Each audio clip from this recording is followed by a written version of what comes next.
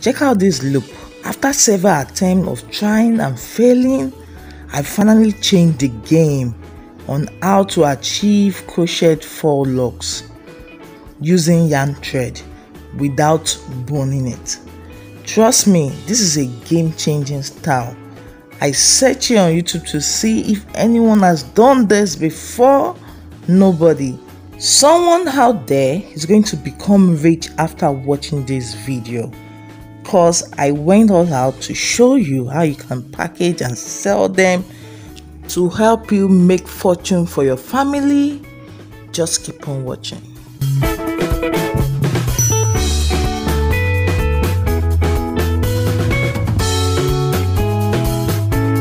hi beauty welcome back to my channel if you are new to this channel welcome to the family and if you're a returning subscriber welcome back.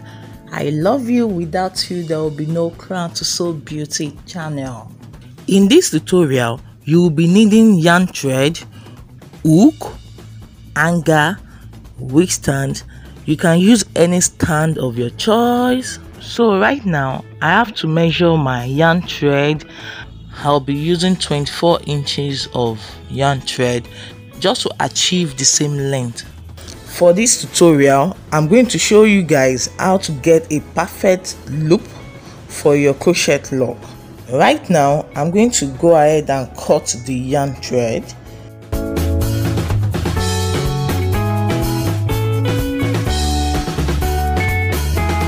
First thing you need to do is to take out 24 pieces of yarn thread and also take out three pieces of yarn thread the 24 pieces of yarn thread then fold it in the middle use your finger to fold it a little bit then place the loop area on top of your hanger then braid the head down. Please make sure you braid the head loosely. Don't make it tight. This will make the faux locs very very soft in order to insert your plait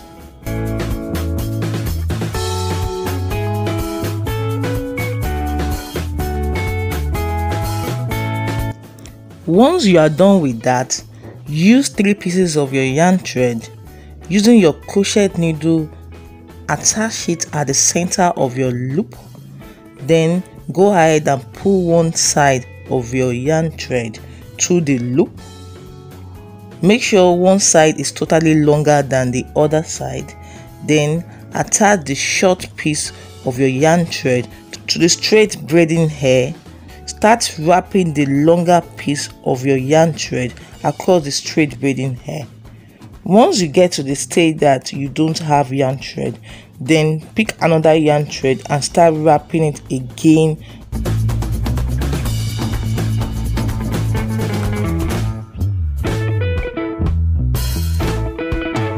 Then the third wrap i'm going to start cutting the yarn thread to achieve a pencil look it depends on your discretion on how you want your pencil to look like.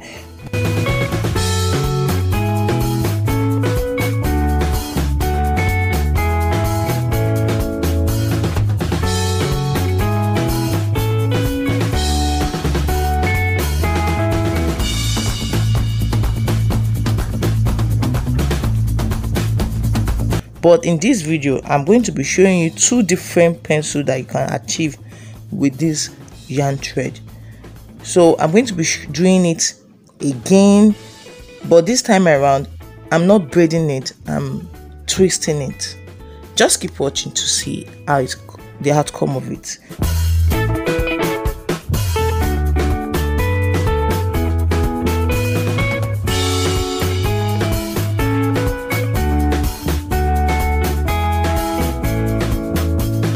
then I will show you the difference between both. Trust me, this is the game changing part. Once you are almost getting to the end of the lock, please make sure it's 3 yarn remaining for both sides. Once you have gotten to your desired length of your lock, with these techniques, you don't need to burn it or to use lighter, you surely thank me later. Then go ahead and bend the 3 yarn thread you are using to wrap the lock upward. Then you will use the remaining three to continue with the wrap. For this first lock i'm going to cut the yarn cause the way i want the pencil to look. But the second lock i'm not going to cut it. That's the reason why i said it's two different lock i'm doing for you. Then you now choose which one is is preferable for you. Once you have gotten to the end tie the end with the first yarn thread. Then continue wrapping then then tie the second then later the third yarn thread. Trust me this hair won't unravel. With all the techniques i'm going to show you in this video. No need to burn it. This is a game-changing part. With one yarn thread with this length i was able to achieve six crochet faux locs. Then i'm going to do this crochet faux locs one more time. Then we'll move to the next stage on how to secure the hair from unraveling and for you to have this crochet look. Just keep watching. You thank me later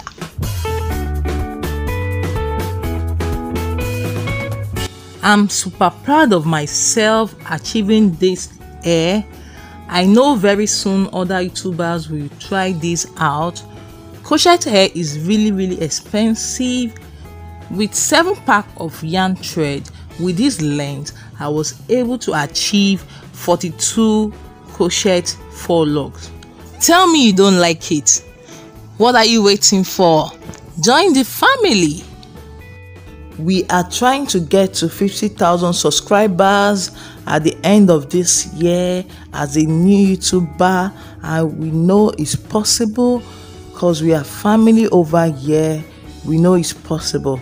So join the family. Make sure you subscribe now and click the notification bell so that you won't miss any of my game changing air. If you haven't liked the video yet, make sure you like this video. Please do me a huge favor by sharing this video on your social media and your community tab because the more you share this video the more views i get the more views i get the higher my subscribers.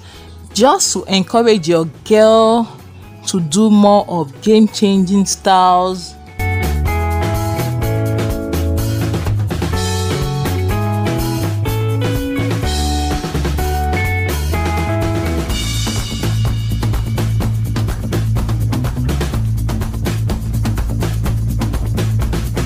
you will see now that I did not cut this crochet.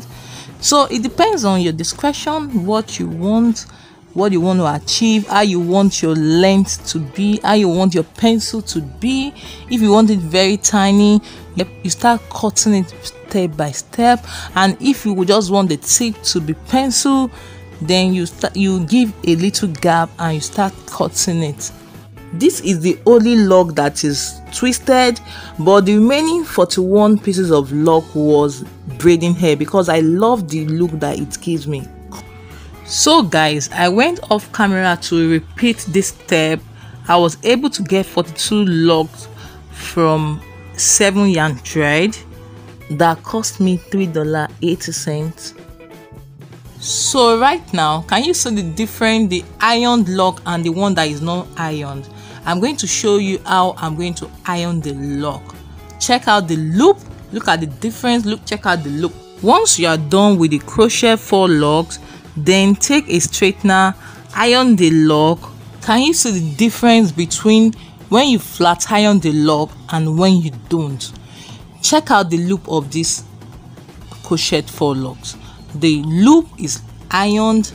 Can you see the difference? So it's good to flat iron it. I'm also going to show you how to use hot water method to achieve this lock make sure you use the flat iron to seal the end of this faux loc.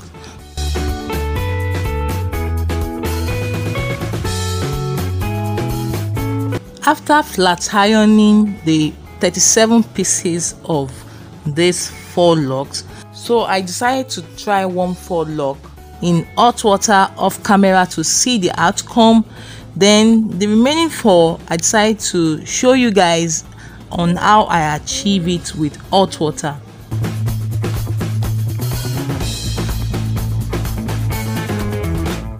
When you ask me which one do I prefer among both, I prefer the flat iron because flat iron give me the look that I want.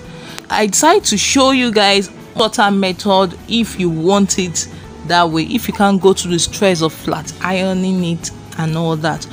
But let me know in the comment section which one you prefer. Do you prefer it in hot water or flat iron? And which other game changing style do you want me to do for you? If you happen to repeat this style give me some credit that you are inspired by crown to sew beauty. So i can share your videos with my subscribers. Let's rock the styles together. You can also use these techniques on how i achieve the crochet four logs when you want to make your hair you can use it that way. Trust me you don't need to burn it. You are good to go. If you are doing it on your hair what you just need to do is once you are getting to the end of the log you cut it like that just like the way i achieved this crochet four logs trust me it won't unravel. If you want to do this as a business you will need a ribbon to hold the hair and also together with a packaging bag. I got this packaging bag from my local beauty supply store then you are swimming in millions. You are good to go and start selling it. If you want to see how I install this air, make sure you check the description box of which I'll be uploading very soon. Make sure you follow me on Instagram. I will have it up right here on the screen and also down below. I love you guys and I'll see you in my next video. Bye.